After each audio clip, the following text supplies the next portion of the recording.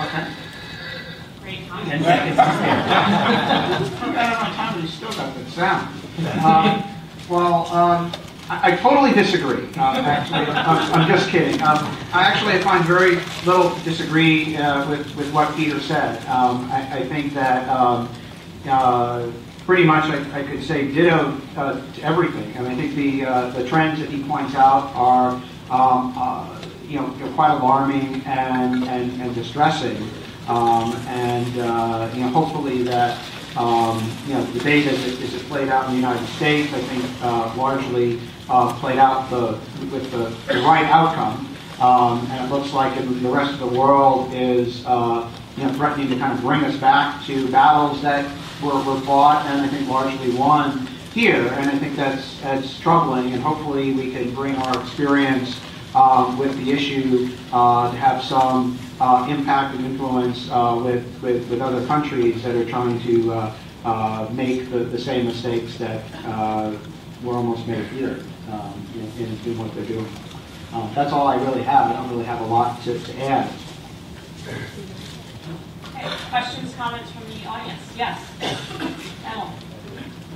Um, I'd like, I'd like to broaden this just a little bit because what fascinates me about this whole thing is not the encryption angle per se, but the notion that society is somehow obligated to rend its in- communications and information infrastructure in order to allow or retain or maintain access by government authorities. Uh, and, and that's an issue, you know, not only overseas, but it's an issue here, not with respect to encryption per se, but, but with respect to, to other forms of access and, and, and, wiretap. And so I'm just wondering if, if, if Peter and Dan could comment on, on, on what I heard. I mean, I'm not a lawyer, and I personally find it a very, very peculiar contention that, uh, you know, my, my interpretation of what I hear from the FBI and DOJ what have you, this notion that we're obligated to do whatever it takes to make sure that they can still get at data. So I, so I think that's the CALEA issue in the United States, the computer assistance to law enforcement. 1994, the U.S. Congress passed, and President Clinton signed a law that said that phone companies have to make the phone networks wiretap ready. And the big compromise that was put into that, pushed largely by Jerry Berman and CDT, was it didn't apply to IP. And then the internet took off after that. And the battleground is, as we use Skype and other kinds of internet protocol phone communications, how much is the government going to insist that we make Skype and the rest of that stuff wiretap capable? And that's being fought over with RIM, it's being fought over with Skype. And I think it's an important issue for the people here to weigh in on. The U.S., uh, the current administration has not taken a position on CALEA update. The FBI clearly would like to expand CALEA much further, and the Commerce Department and other parts of the administration have been much more cautious about that.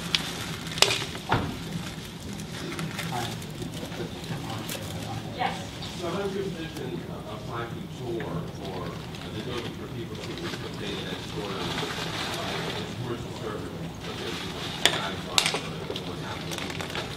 So, so the question is, what about Tor? And, and, and I, I think there's a lot of reason for the tech people that historically have been a core part of CFP to keep coming up with these anonymizing technologies and, and to really push back against pervasive wiretaps. And if we're more effective at doing that in the United States and Europe, we'll be more effective at doing that around the world, um, where authoritarian regimes or other regimes have reasons to really try to, to try to uh, get access to all the communications.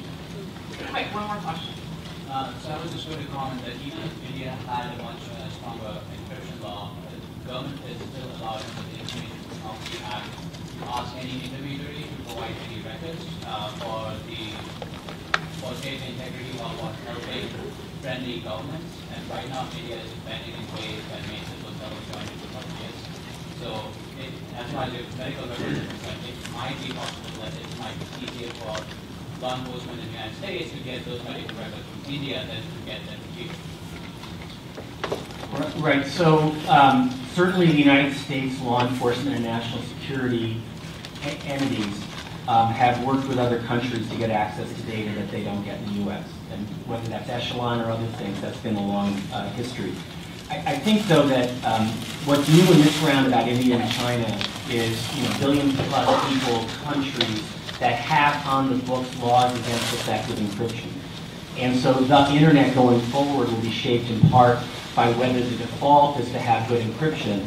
And, and I think that's, that's part of what my project is about, is to try to help show why the arguments that won for strong encryption in the United States should win for these very, very populous other countries. Okay, next topic. And this is the nothing to hide argument.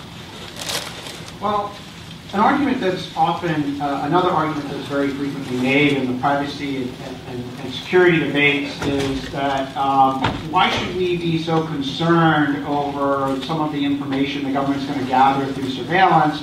Because I have nothing to hide. Um, I'm not embarrassed by anything that I do. I don't care if the government sees what books I read, what, what water I drink, whatever. Um, and the only people who should really care are people who are engaged in illegal activity because they have something to hide. And this argument just occurs again and again and again.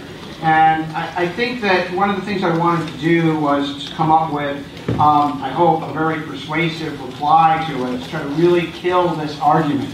Um, and I think if you, you know, one way to fight the argument is say, well, everyone has something to hide um, and, and therefore it's just wrong. But, but that's not going to convince the people who say they have nothing to hide. Um, what I think the response is is that the nothing to hide argument views privacy in a very narrow and myopic way. It sees privacy as basically hiding bad and embarrassing things. But that's actually just one dimension of what privacy is all about. There's many dimensions to privacy um, that have really nothing to do with hiding things. Uh, I worked out uh, several years ago, I, I, worked on a theory of privacy, and I, I came to the conclusion that privacy isn't just one thing, it's actually many different related things, but they're distinct things. Um, and some of the, the, aspects of privacy that have nothing to do with hiding things are, one, uh, rights to access the information uh, that others have about you, to know what that information is, um, to be able to correct it if it's inaccurate. Um, you know, a problem that I call exclusion when you're denied access and participation in the use of your data. This, this has nothing to do with hiding things. Um, another thing is um, uh, there's a lot of instances where your privacy has nothing to do about um, keeping something secret. You know, your right not to have your face plastered on a billboard um, for someone else's product. That is uh, not about the secrecy of your name or likeness. It's about your right to control your identity, your right to control your personal information, which again has nothing to do with hiding things. Um, another issue is the aggregation problem. That when people give out information, you know, I might say, look, you know, I like I, I like to drink this water rather than another water. I like this thing. I bought a magazine here. I bought a book. Um, each piece of data in, in isolation is fairly innocuous. But people don't realize how much can be gleaned about a person's life when you start aggregating all these different pieces of data together and looking at um, all this different data. So when you look at each individual isolated question, issue with data, you might have nothing to hide, but when you put all the data together, it might actually uh, paint a picture about you. And then there's the judgments made based on this information the judgments made on the information might not necessarily be accurate because you could have nothing to hide, but still bad judgments making bad inferences um, could be made about your behavior. Um, and um, one of the things about living in a free society is not having to explain or justify oneself to the government, not having to worry about how people might misjudge us. So if I buy a book on manufacturing meth, um, I don't want to have to explain or worry about explaining why I bought that book to some you know nervous law enforcement official who thinks I'm up to no good. I, I shouldn't have to explain the reason uh, why, even if I'm acting totally innocently. Um, that shouldn't be something that I have to do.